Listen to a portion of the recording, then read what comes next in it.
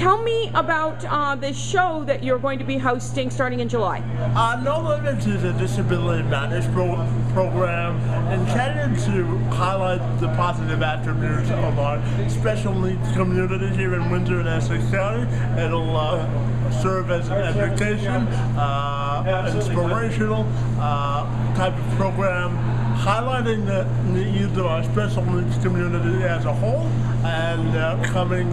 to give them a voice within our society